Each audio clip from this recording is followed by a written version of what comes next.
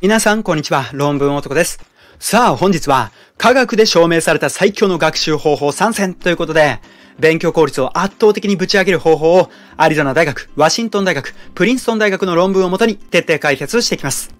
勉強法って聞くと、効果がある勉強法をいろんな YouTuber の方がいろんな情報を出していますが、今回は確実に100%誰でも効果のある方法として、エビデンスレベルから3つ厳選した情報をお送りいたします。正直この3つやっておかないと相当学習効率を落として時間を無駄にしてしまいますので、今よりも勉強の効率を上げたいっていう方は必ず見るだけじゃなくて実践してください。毎度のことながら参考にした論文は説明欄に貼っておきますので、興味がある方は見てみてください。それでは早速行きましょう。科学で証明された最強の学習法。一つ目は検索学習です。これが最強の学習法と言っても過言ではないくらい研究数も多く、有効なデータ数もめちゃくちゃある科学界最強の学習法が検索学習になります。検索学習、これ何なのかと言いますと、簡単に言えば忘れた頃に頑張って思い出す作業のことを言います。要は皆さんがやったことがあるもので言うと、模擬テストが有名どころです。模擬テストはやれば確実に効果のある方法なので、模擬テストをやりましょうなんですが、まあこんなの誰しもがやっていますよね。これだけの情報だと何の役にも立たない犬のクソにも匹敵しない情報ですので、ここからはこの検索学習の代表格である模擬テストの効果を最大限まで高める科学的な方法をお伝えします。模擬テストの効果を最大限まで高める上で重要なのは難易度の設定です。どのくらいの難易度が一番学習効率がいいのかを知る必要があるんです。まあ、つまり難易度のスイートスポットを知りましょうというわけです。模擬テストをやった時に点数が30点くらいの難易度がいいのか、50点がいいのか、80点がいいのか、そもそも100点がいいのかという部分なんですが、最も効率よく学習できる正答率というのは85%であることが2019年のアリゾナ大学の論文で明らかになっています。コンピューターを使って様々な難易度のテストを行って、どのエラー率が最も学習を進めるのかを検証したんですが、結果としては、エラー率15.87%、まあ、つまり、正答率85%が学習効率を最大にする難易度であったっていう結果でした。多分皆さんも経験したことがあるかなと思いますが、難しすぎる問題集というのは解いていて楽しくないので、モチベーションの低下につながってしまい、学習効率を落としてしまいますし、簡単すぎる問題集というのは変な自信がついてしまい、学習をおろそかにしてしまいますので、模擬テストというのは適切な難易度を設定する必要があります。そしてその難易度というのは、ちょいと難しいレベルの85点を取れる問題集というわけです。その他にも2016年に発表されたコロンビア大学の研究では、参加者にスペイン語を覚えてもらうという課題を出して、その難易度で記憶力はどう変化するのかを検証したんですが、結果としては、やや難しいレベルの難易度を設定したグループは、難しい難易度と簡単な難易度のグループと比較し、学習効率が大幅に向上したという結果でした。その他の研究でも同様の結果が出ていましたので、難易度のスイートスポットは85%であるということは覚えておいてください。模擬テストを行うときには85点くらいが取れる難易度を設定しましょう。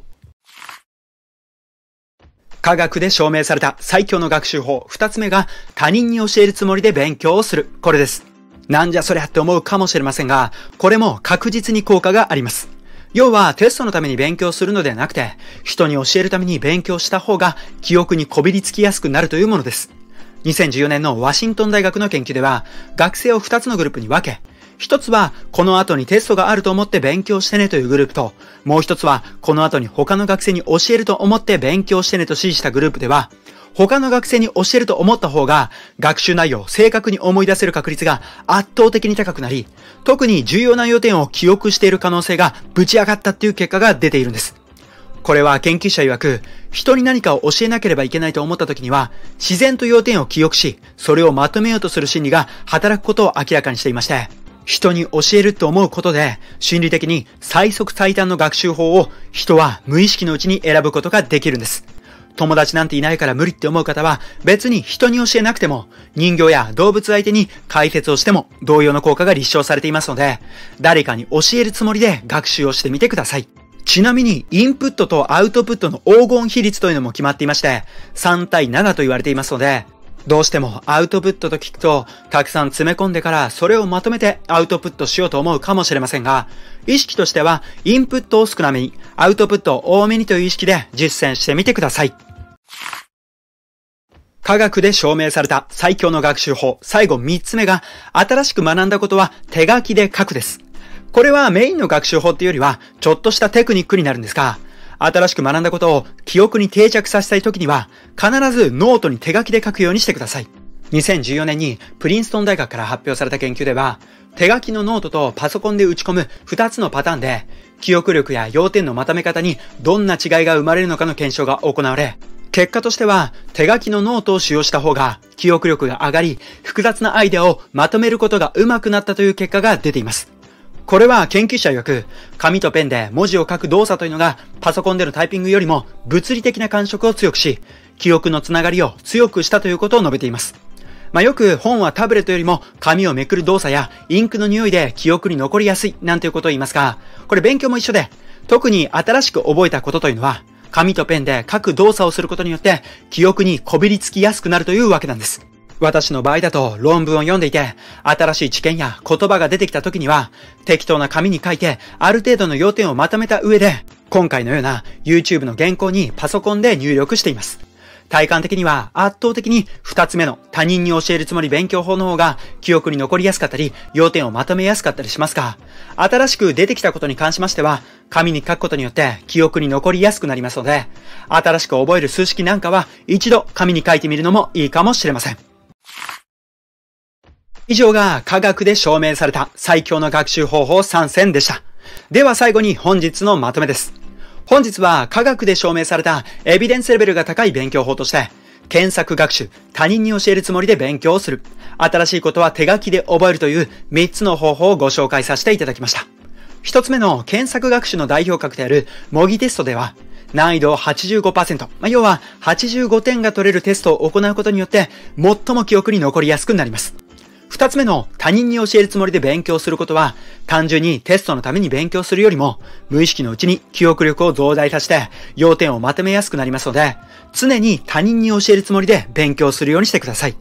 そして実際に他人に解説をするときには、人じゃなくて物や動物相手でも効果を発揮します。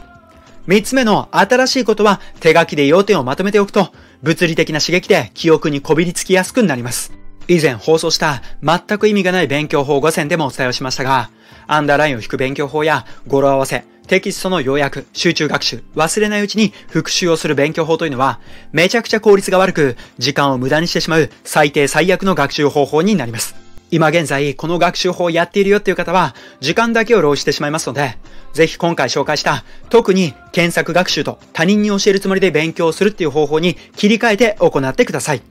科学で証明された万人に効果のある方法になりますので、今日からぜひ実践してみてください。それでは本日は以上です。またお会いしましょう。バイバイ。